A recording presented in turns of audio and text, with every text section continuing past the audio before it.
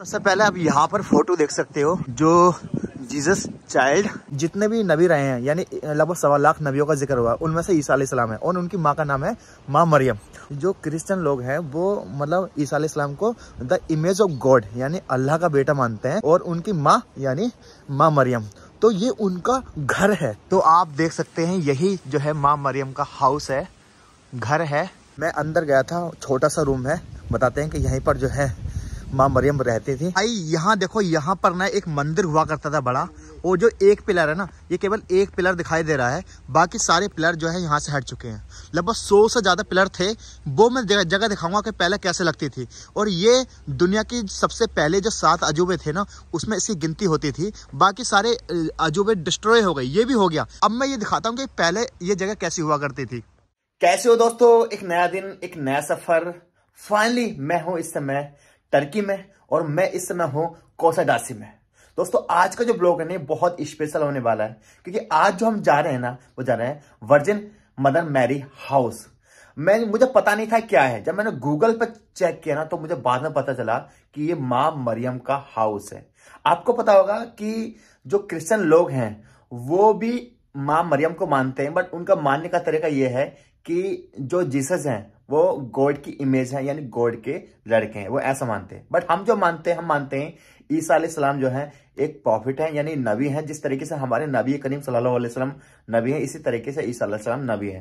तो जब गाइड आया सुबह, उसने मुझे बताया कि आज हम जा रहे हैं, वो वर्जिन मदर मैरी होम जा रहे हैं। अब मैं कंफ्यूज हो गया। मुझे पता ही नहीं क्या कह रहे हैं। मैंने ज़्यादा इंटरेस्ट में नहीं लिया, लेकिन जब मैंने गूगल पे चेक किया तो पता चला कि यार, ये तो माँ मरियम के हाउस की बात कर रहे हैं। तो ये ब्लॉग ना बहुत स्पेशल होने वाला है। और अभी मैं नीचे जा रहा हूँ, वहाँ से गाड़ी आ चुकी है हमारी, वो हमें रिसीव करेगी और हम जाएँगे वहाँ पर। और बताना चाहता हूँ, ये जो लोकेशन है ना, ये कोसा डासिम में जो एफएसएस है, उसके पास ही वो लोकेशन है। तो ब्लॉग को शुरू करते हैं।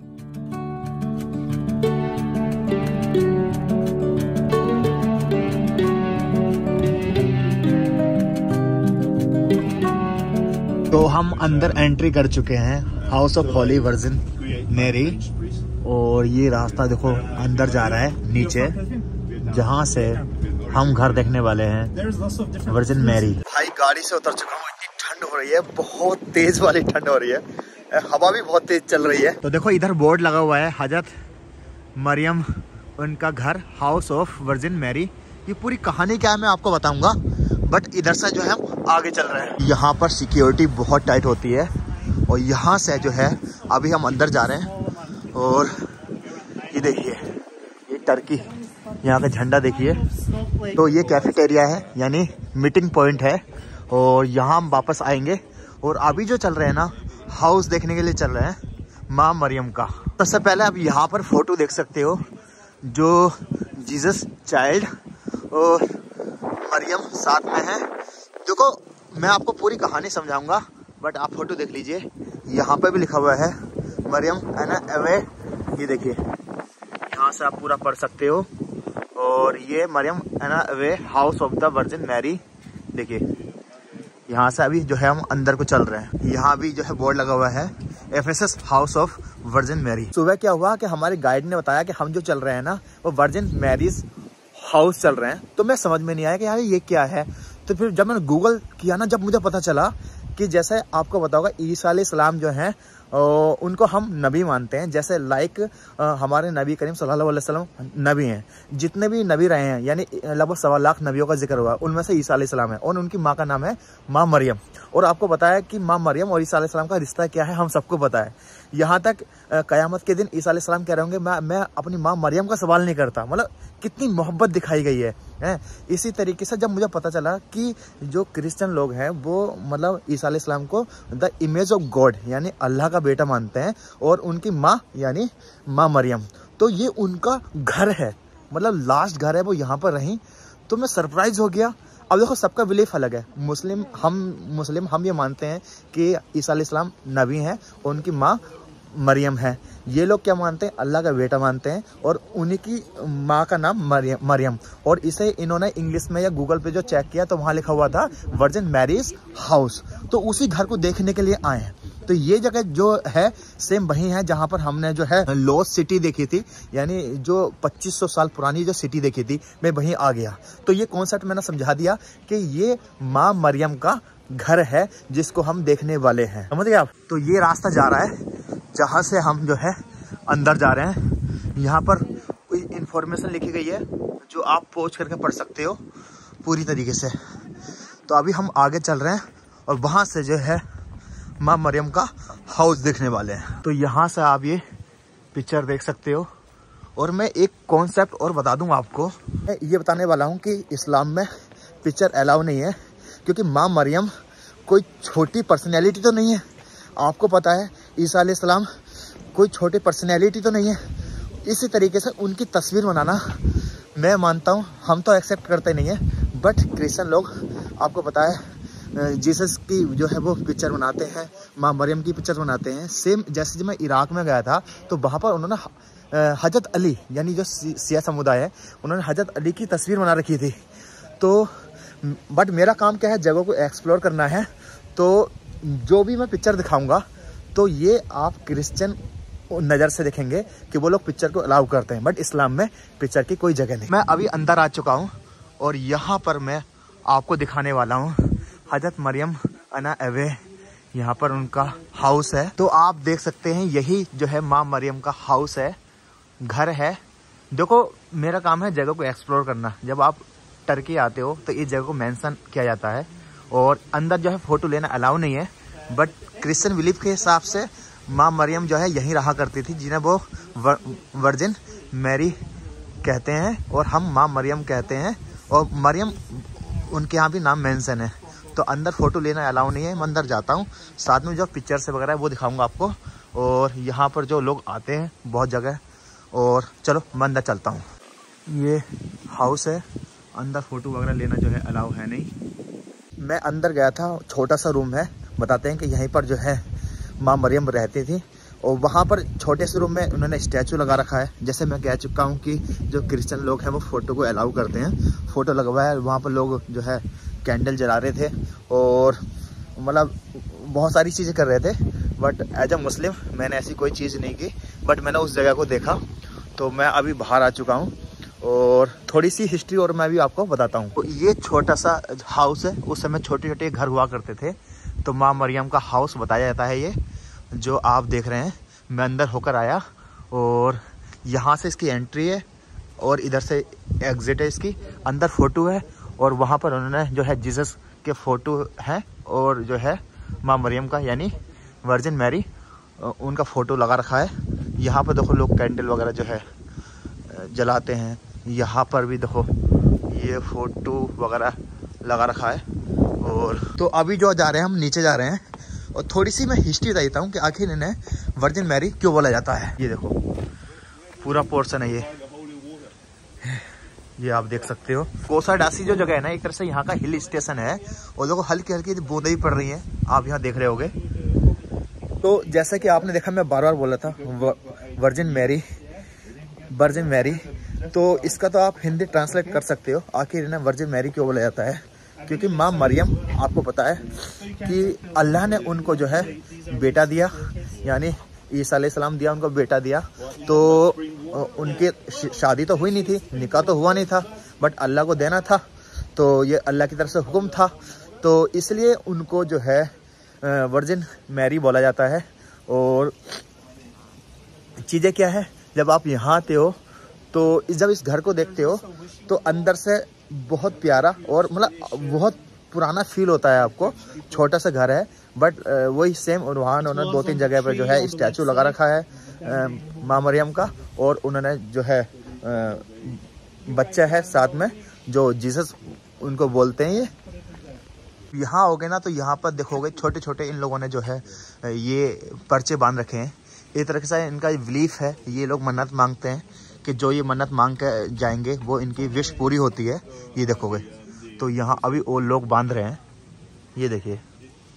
और पूरा यहाँ से लेके यहाँ तक, ये सारी जगह जो है, भरी हुई है। ये देखिए, यहाँ तक। यहाँ पर भी देखो, इन लोगों ने पिक्चर लगा रखी है। ये देखिए। तो भाई हम वापस जो है आ चुके हैं, और वहीं पर यहाँ पर कैफेटेरिया है, इधर पर जो है शॉपिंग आप कर सकते हो। बट हर जगह पर आप जो देखोगे फ़ोटो है, यहाँ भी फ़ोटो हैं। और मैं एक चीज़ बताना चाहता हूँ आपको। आपको बताओ मेरा लास्ट टूर जो था इराक का था, जब मैं करबला गया और उसके बाद नजब गया। आप हर जगह पर वहाँ पर ना हज़रत अली का फ़ोटो देखा मैंने। और मतलब ऐसा लगा कि यार हज़रत अली कोई मतलब छोटी शख्सियत तो है नहीं, है? मतलब इस्लाम के चौथे खलीफा हैं वो और मतलब हमारे नबी करीम वसल्लम के जो है दामाद हैं, उनका कितना बड़ा मर्तबा है। मतलब एक फ़ोटो, बहुत सारे लोग मतलब हो सकता है कि वो लोग एग्री करते हों बट भाई हमारे यहाँ तो फ़ोटो की कोई गुंजाइश नहीं है। और मेरा मकसद किसी की भावना को ठेस पहुँचाना नहीं है बट ये बताना है कि ऐसी शख्सियत मतलब उनकी आप फ़ोटो में कल्पना कैसे कर सकते हो? या तो वो रियल और रियल तो मतलब ही नहीं है।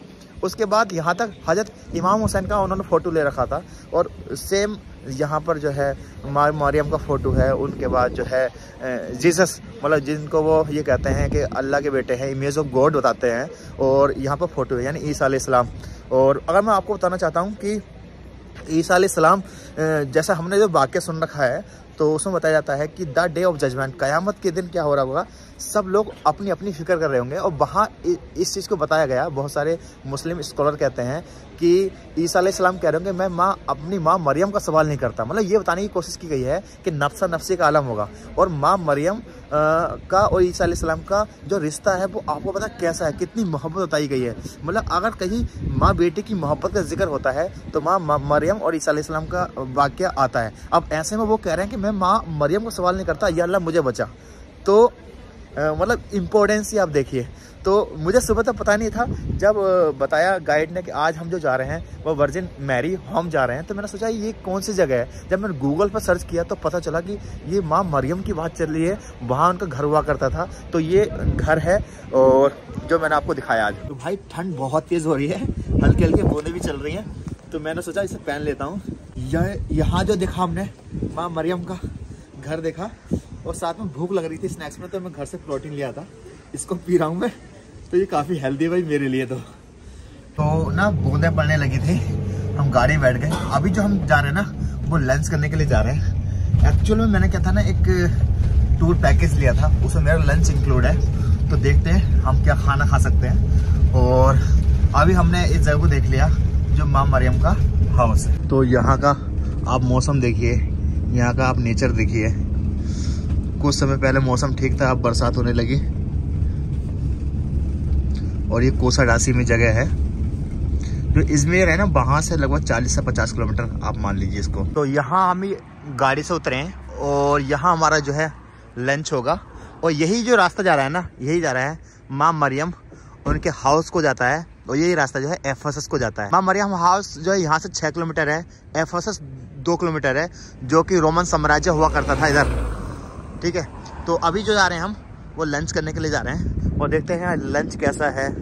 फिर मैं आपको सही वाला फीडबैक देता हूँ। देखो हल्की हल्की बूंदे पड़ रही है। ये भी ये भी सही हुआ कि मैं ये लिया अगर ये नहीं होता ना तो हवा टाइट हो जाती। अब देखना होगा कि यार मुझे इंडियन खाना मिलेगा नहीं मिलेगा क्योंकि यहाँ का खाना पता नहीं मुझे समझ में आएगा ये नहीं आएगा ये भी देखना है। भाई क्या क्या है यहाँ पर? तो चलो, ये तो फ्रूट्स हो गया। ये साथ कोई जो है खीर होती है, सैलेड है। ये सैलेड, ये ठीक है भाई। आई थिंक ये कर्ड होगा, दही होगा। ये भी कुछ ना कुछ है। ये साथ आई थिंक स्वीट पटेटो होगा मेरे हिसाब से। और ये हो गई, दाल होती है कोई सी। और ये सैलेड हो गया पूरा। इधर देखता हूँ क्या क्या है। तो इधर राइस हो गया। इधर जो है तुम्हारे की ये वो हो गया। तो ये ये पास्ता है और ये चिकन में है और इसमें पोटैटो भी है और ये देखो, भाई पता नाम ध्यान में नहीं है। ये आई थिंक कोई सब्ज़ी है, जो शिमला मिर्च होती है ना, शिमला मिर्च लग रही है मुझे, कुछ भर हुई। और उधर ये होता है।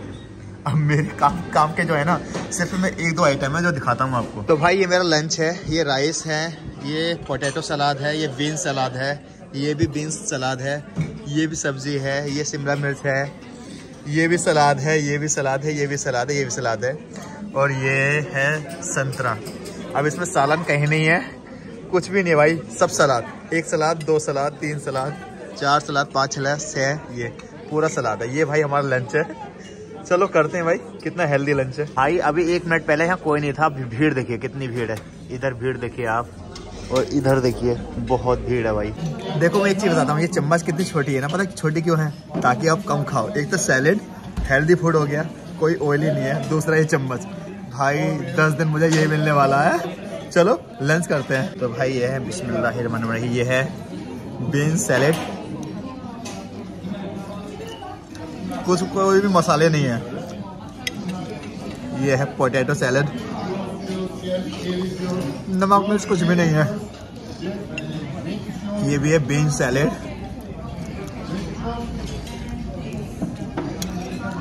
अब ये क्या है? मुझे पता नहीं, मैं खा कर बताता हूँ। जो भी है मिल्क का है। और उसके बाद तो अभी ना मेरे पास ये बचा हुआ है। ये मैं खाता हूँ, उसका टेस्ट बताता हूँ कैसा है। हमारे यहाँ शिमला मिर्च में ना आलू होता है अंदर। या फिर मिर्च होती है, इसके अंदर राइस है और मसाले कुछ भी नहीं है।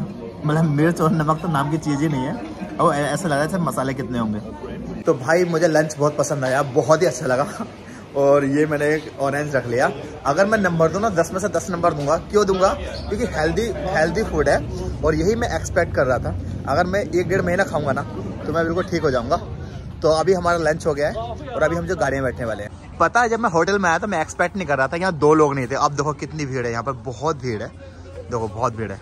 तो अभी जो हम आपको लेकर आए हैं ना, उस जगह पर लेकर आए हैं जो सबसे पहले सात अजूबे थे, उसमें से सिर्फ़ एक ही अजूबा रह गया, वो आपको पता है गीजा के पिरामिड और उन्हीं में से ये एक अजूबा था जहाँ मैं आपको लेकर आया हूँ। और यहाँ ये वो जगह है जहाँ पर तीन रिलीजियस जो है, चिन्हित होते हैं। यानी एक ही जगह पर तीन रिलीजियस चिन्हित होते हैं।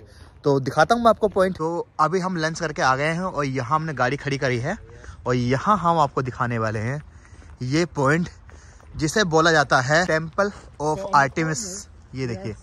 भाई, यहाँ देखो, यहाँ पर ना एक मंदिर हुआ करता था बड़ा। वो जो एक पिलर है ना, ये केवल एक पिलर दिखाई दे रहा है। बाकी सारे पिलर जो है यहाँ से हट चुके हैं। लगभग सौ से ज़्यादा पिलर थे। वो मैं जगह दिखाऊँगा कि पहले कैसे लगती थी। और ये दुनिया की सबसे पहले जो सात अजूबे थे ना, उसमें इसकी गिनती होती थी। बाकी सारे अजूबे डिस्ट्रॉय हो गए। ये भी हो गया। उसमें से जो बचा हुआ है ना पुराने में बस सिर्फ़ गिजा का पिरामिड है। उसके पीछे जो आप देखोगे ना, वो मस्जिद दिखाई दे रही है। और उसके पीछे देखोगे, चर्च दिखाई दे रही है। तो यानी एक ही जगह पर तीन रिलीजियस तीन धर्म को मानने वाले लोग थे और ये उस समय का एक बैंक हुआ करता था। क्योंकि लोग जब यहाँ पर आते थे और खरीदारी क्या करते थे तो वो क्या करते थे, यहाँ पर सबसे सिक्योरिटी वाली जगह थी। कुछ टैक्स दिया उन्होंने और अपने कोइंस को यहाँ जमा कर दिया। अब मैं ये दिखाता हूँ कि पहले ये जगह कैसी हुआ करती थी। आप स्क्रीन पर आप देख रहे हो ये मंदिर। यहाँ पर सौ से ज़्यादा आप जो है पिलर देख रहे हो। और यहाँ पर आप फुट ये भी देख रहे होगे, सीढ़ी भी देख रहे होगे। आज यहाँ कुछ नहीं है। रियल में देखोगे सिर्फ़ एक पिलर बचा हुआ है, बाकी सारे पिलर जो है ख़त्म हो चुके हैं। अगर इसकी लंबाई की बात करूँ तो ये टेन मीटर की लंबाई है, और ये देखिए, ये यहाँ का सातवा अजूबा, सात अजूबों में इसकी गिनती होती थी, आज यहाँ कुछ भी नहीं बचा। ये देखिए। तो भाई, अभी ना बूंदे पड़ रही हैं, बरसात पड़ रही है तो मैं अपनी गाड़ी में जा रहा हूँ। तो ये जो जगह दिखाई थी ना, ये काफ़ी, जब आप यहाँ पर आते हो ना तो ये जगह आपको देखने को मिलती है और ये वो सबसे पुरानी जगह में से एक गिनती है। अब देखो, होता क्या है ना कि सारा खेल बिलीफ का है। यानी किसी ने इस ज़मीन पे जो लोग उतरे हैं, उनको खुदा मान लिया। किसी ने सिर्फ़ सुप्रीम पावर को खुदा माना। तो ये सब कुछ जो है नस्ते नामोद हो गया।